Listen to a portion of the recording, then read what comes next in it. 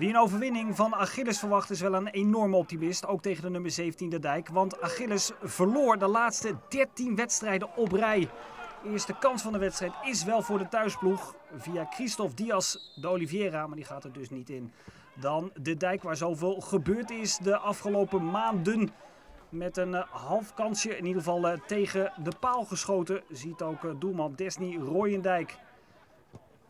Maar de bezoekers zijn in de eerste helft de betere van de twee. Dit is natuurlijk een prima schot van uh, Chakib Tayeb. Met de redding ook van diezelfde doelman Desny Royendijk. Maar er zit gewoon net even wat meer voetballend vermogen in de dijk. Ploeg die sowieso met meer flair speelt. Komt ook omdat Achilles ja, een beetje met de kopjes naar beneden aan het voetballen lijkt te zijn. En dat mag natuurlijk ook wel na zo'n dramatische reeks. Hier is Tayeb opnieuw. Dan is daar een overtreding van uh, aanvaller Kevin Schmid. En dus de vrijtrap voor de dijk. En van dichtbij is het dan ook 1-0. Maar wie raakt die bal dan als laatste? Iedereen loopt naar de man van de vrije trap. En is dat Harry Zwarthoed of niet? Want wordt hij nog aangeraakt door iemand anders? Ik heb het idee van niet. 1-0 dus wel voor de dijk. In een uh, verder wat eentonige eerste helft gaan we naar de tweede helft. En daar is opnieuw de dijk. En nu is toch echt uh, Harry Zwarthoed. Geweldige voorzetten natuurlijk ook van die verdediger Tony Tol. En zo is het 2-0. Even later, achter de bal. Hé, hey, Zwarthoed, die kennen hem nog. Ja, ik wilde hem normaal uh, erin kijken. Maar deze is dan dus niet raak voor Zwarthoed. De man van de wedstrijd op dat moment. Tayeb, handige beweging.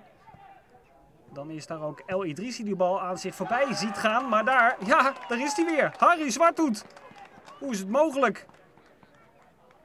3-0 voor de dijk. En dat zijn ze toch uh, niet gewend dat het zo makkelijk gaat. Die bal wordt ook heel lichtjes getoucheerd. Dat moet gezegd worden. Maar ook dat soort ballen tellen natuurlijk. Dan uh, Jankovic. En eindelijk ook weer eens een moment voor de thuisploeg. Schot van uh, Said Begic. Hier is El Idrissi. Een enorm talent. Niet zo lang geleden nog bij Ajax.